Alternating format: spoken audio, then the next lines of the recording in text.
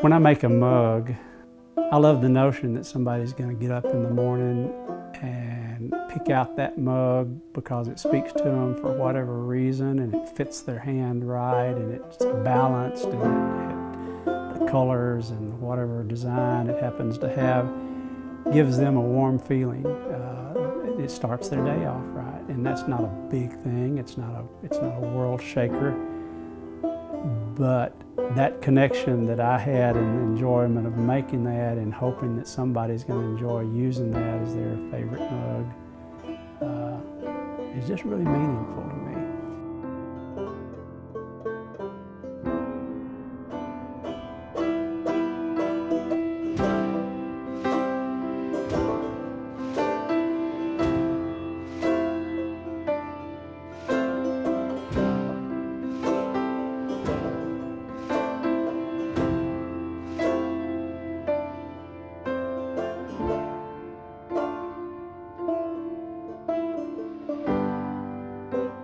just kind of guessing as to what I need. Um, and I might run it through and it needs to be a little softer or a little firmer. Potters often, or beginners, think, oh, they have to have all this equipment, and, and you don't really. I mean, it's, it's nice to have this. It's taken us 40 years of accumulating, you know, to have the equipment we have. It's kind of like a musician saying they had, you know, I'd be a great great musician if I, if, great guitarist if I just had a, you know, the right guitar. No, it's not the tools. It's the tools are nice, but I started out a school teacher, taught chemistry and physics and math, and started getting interested in pottery during that time. Started reading and started visiting every potter I could find, and uh, finally built a potter's wheel and got hooked part of what I liked was the smell of the clay. That earthy smell, it was like, it reminded me a lot of the library when I was a kid in the basement of the courthouse. That old musty smell of an old library and books. Clay smelled a lot like old books.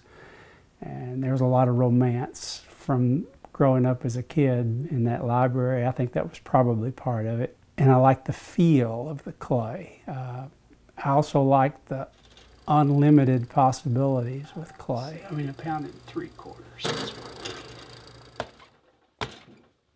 If you look up in the Department of Labor, if you looked up, if you look up pottery, they have lists of occupations. If you look up and they, they categorize them, pottery is listed as manual labor, and that is no accident because it is. It's uh, it's uh, I don't know many potters without back problems and wrist problems and neck problems and you know from a lot of lifting and and all the, all that you do. Okay. Sitting down and working at a wheel um, does just take you back. Uh, it, it ties you historically to so many civilizations. People will say, uh, well, were you self-taught? And well, I was in many ways because I didn't study it in school, but I learned from so many potters and so many books and so many magazines. I, I tell people I graduated from the University of Ceramics Monthly is a magazine that all potters take. I'm not thrilled with the line I got left right in there, but we may not get rid of it. Let's see here. Yeah, we may. I will not brag about being self-taught because a lot of times when people say, well, I was self-taught, I want to say, yeah, I can tell. You know, it's, it's, there's, there's nothing wrong with a really good ceramic education. This one I made yesterday and let it sit all day. And so it's what you call leather hard. The British call it cheese hard, which is a good description. It's about like cheese. So it, it's soft, it's still moldable. I do mainly functional work functional in the sense of utilitarian. I like to make kitchenware and serving pieces and pieces to eat off of. One of the reasons I like to make that kind of ware is I like that kind of hospitality, that functional ware. It's an offering, it's a serving. Okay, I'm going to take this, we're going to stick a handle on it, and just jam it on there. Get it balanced like I want it get the size right. What I make is not a necessity anymore. I'm fooling myself to think that it is. Uh, you know, I'm not making things that anybody has to have. I like to think their soul needs it, but, but physically you don't, you don't have to have it.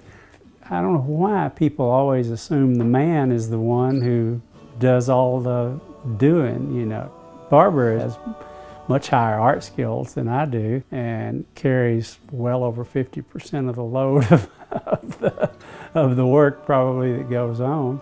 There, there are times she doesn't get the credit that she needs uh, for having made this work as long as it has. Both, both just us still being together and the work of the, of the success of the shop. Uh, we made, you know, oil lamps were always something that's, sold. We don't make anymore, but we developed one that was an angel oil lamp. In fact, we started making those a little bit before kids started college, and we called them our tuition angels. They were, uh, they were something we made a lot of and sold a lot of, and people call today begging us to make, you know, another one. And Barbara says, no. I think by the time uh, Fletcher graduated, she said, that's the last angel oil lamp. There'll never be another one. You know, that's just a glass that, that I've melted onto the clay. And here are the ingredients. It's just like a biscuit recipe, flour. Plenty of potters buy their glazes commercially prepared, and there's nothing at all wrong with that. I'm going to put a copper red runny glaze up here, and I want gravity to pull it down. But my background just makes me interested in making them, and I can come up with some mixed up different and unusual things. I'm laying on some of the broad colors now. As, as technology develops more and more, and I like technology too, but more and more we're removed from things touched by human hands and made by human hands. This all just, once it's full of pots, it'll all just roll in and I'll bolt this door down. There are two gas burners in the rear that shoot flame in. They hit this front wall, bounce up, down through all the ware and out this flue and up the chimney. And it's, it's about a 14, 15 hour process in this particular kiln. But I'm kind of bad about getting on my tractor and bush hogging or mowing or something and forget. And two hours later, oh, the kiln! Artists and craftsmen kind of like to romanticize their lives like they're living some sort of nirvana, uh, you know, or a state of bliss when the actual day-to-day -day work is work. You certainly have your anxieties and your stresses and waking up at 3 o'clock in the morning and say, dear God, what am I doing? what, what am I thinking? Well, you know, it, uh, I got to go get a job. so much of this Arkansas Living Treasure Award that I got, uh, it should have been Barbara and Jim Larkin. Anything that we've accomplished, we've accomplished as a team and, and working together. And why I was lucky enough that we ended up together, I, I don't know.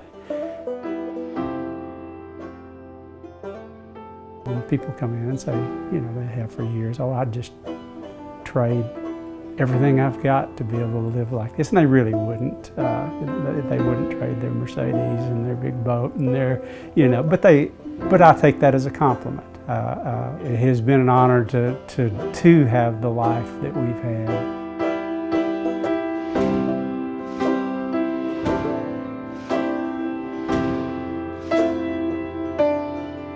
You go down to a shipwreck from ancient Greece or whatever, and you find these amphora, you find things thousands of years old that are in wonderful condition, you know, whereas leather, wood, other things, you know, are, are gone. So there is that hope that your work, I don't care that anybody knows that Jim Larkin in Hot Springs, Arkansas made this, but I hope that when they pick it up, they'll say, boy, this is a nice shape. This has got nice lines. I really like the way this feels. Uh, um, I hope they recognize quality in it. That would be my, my big hope.